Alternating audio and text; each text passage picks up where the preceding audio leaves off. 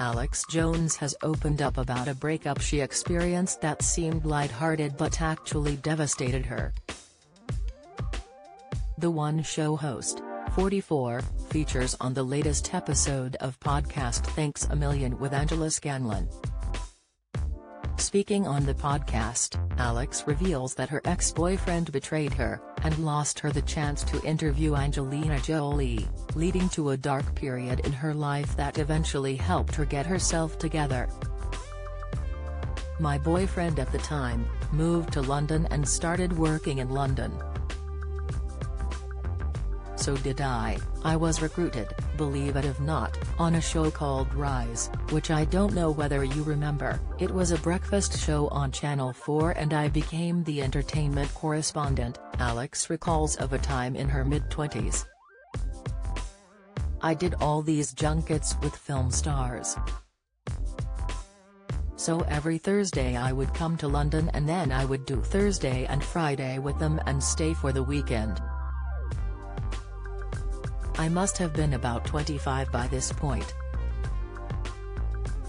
One day I was in Topshop on Oxford Street and the production company who made the show called The Flat where we lived essentially and said we need to speak to Alex.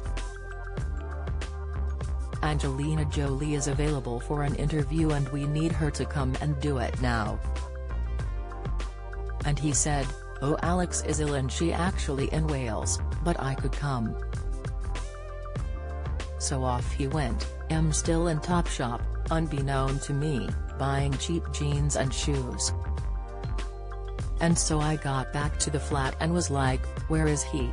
Hours went past, nobody answering their phones and in the end thought, right I'm going to drive back to Cardiff, because I don't know where you are, you've probably gone to the pub.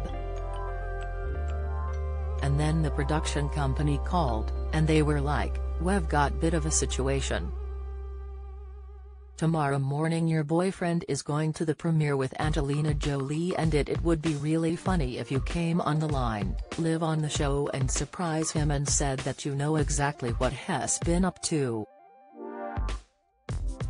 So again, I said yes, so on live telly him like, you lie to me, where have you been?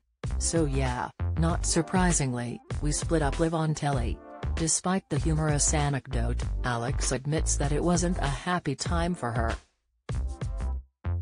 She adds, it was a really dark time for about six months and even though I was still very happily working in Wales, I just wasn't myself, my mum was really worried, my fiends were really worried and at that point I thought, nobody is going to me like that again.